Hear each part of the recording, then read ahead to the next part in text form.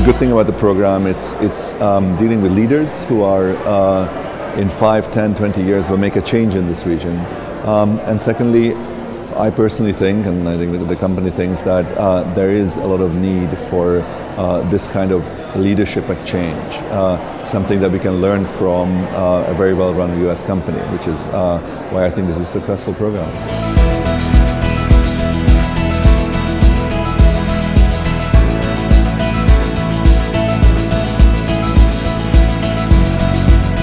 Personally, the most important uh, and inspiring thing about this whole scholarship and seminar uh, were meetings with uh, the business leaders uh, that happened during this LDP. Um, these uh, extraordinary business leaders actually proved to me that it is possible to become an entrepreneur while still remaining a normal person.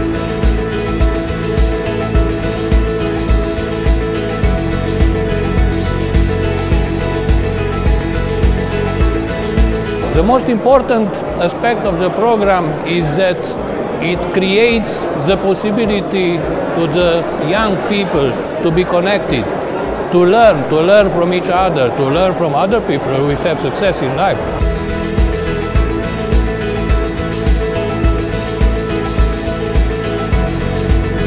We can make changes happen around us and we actually need that at least in our uh, in Romania and all the other central and eastern European countries.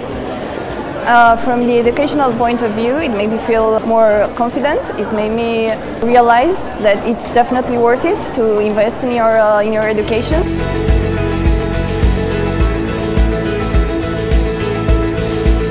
Those attempts actually on behalf of the international companies that are helping to re-establish or establish uh, tradition in this country. You know, we've been uh, cut off from our traditions for 50 years.